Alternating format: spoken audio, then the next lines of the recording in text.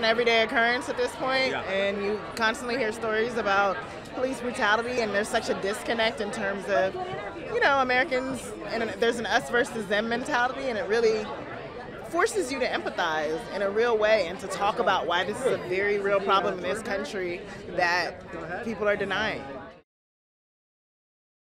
Young people are the only ones that can change the world at this point. You know, the country, they'll inherit the country. Um, we've seen that with the Parkland victims who have really used their voice to elevate the issue of gun control, who have, you know, watched their friends die. And Starr, though a fictional character, is in a similar situation where she watched her best friend die and she has to decide how she's going to use her voice. It's scary.